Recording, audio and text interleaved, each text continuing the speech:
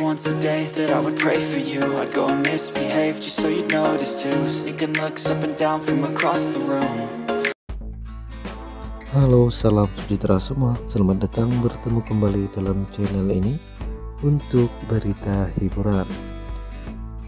Hari ini apa yang saya ingin kongsikan kepada Anda adalah berita yang dipetik daripada satu sumber selebriti tanah air.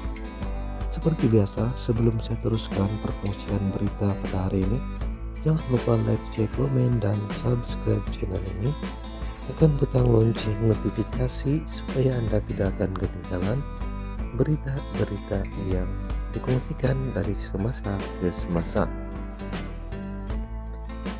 Selepas lebih 10 hari bergelar sebagai seorang istri, pelakon dan penyanyi Jana Nik mengakui bahagia menjalani alam rumah tangga bersama suaminya Dini Sas Zaman.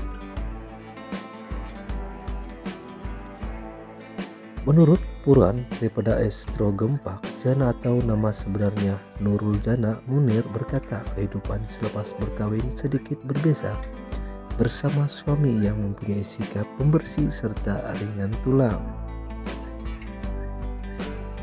Katanya, Alhamdulillah seronok lepas berkawin nih. Kita tahu setiap kali balik kerja walaupun dalam keadaan stres tapi kita tahu mesti ada orang di rumah yang akan bersama kita. Apa yang best bila bangun tidur ada orang kemas katil itu paling seronok bagi saya.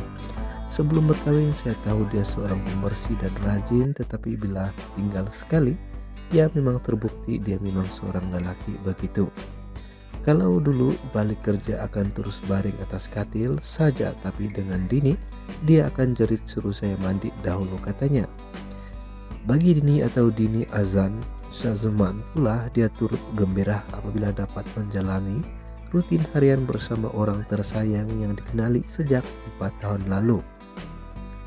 Malah Dini yang juga pelakon berfungsi dia juga dapat merasai air tangan pertama istrinya selepas berkawin yaitu Umi Sanggul yang dipuji sungguh melazatkan. Mestilah seronok sebab kita ada teman tak kira nak tidur bersama dia bangun pagi pun bersama dia. Apa yang penting buat semua perkara bersamalah. Selepas berkawin ini tak banyak perkara yang berbeza tentang Jana sebab dia seorang yang pandai berkomunikasi. Dia tidak pernah sorok akan sikap dan dirinya dari awal perkenalan hingga kini jadi mudah kongsinya lagi. Terdahulu pasangan ini dinikahi oleh bapak Jana sendiri, Munir Abdullah di Masjid Aisyah, Langkawi pada 10 Juni lalu sebelum melangsungkan majelis resepsi di sebuah resort terkemuka di lokasi pelancongan di Langkawi tersebut. Saudara dan saudari semua, berita terkini yang dikongsikan pada hari ini adalah dipetik daripada sumber DM jadi jangan lupa like, share, komen, dan subscribe channel ini bantu channel ini supaya dapat berkembang dengan baik. Dan kepada subscriber channel ini yang sentiasa memberi sokongan dari awal hingga sekarang saya mengucapkan jutaan terima kasih kepada anda semua saya mau berdoa semoga anda dan seluruh keluarga anda diberikan kesehatan yang baik dan dimurahkan rezeki Anda sepanjang tahun 2023 ini. Dan kepada Anda yang belum subscribe channel ini dan baru saja menonton video-video daripada channel Berita Malaysia TV ini, jangan segan-segan untuk subscribe channel ini dengan menekan butang subscribe ya dan tekan lonceng supaya Anda tidak akan ketinggalan berita-berita yang dikongsikan dari semasa ke semasa hanya dalam channel ini. Jadi saudara dan saudari semua itu saja untuk hari ini.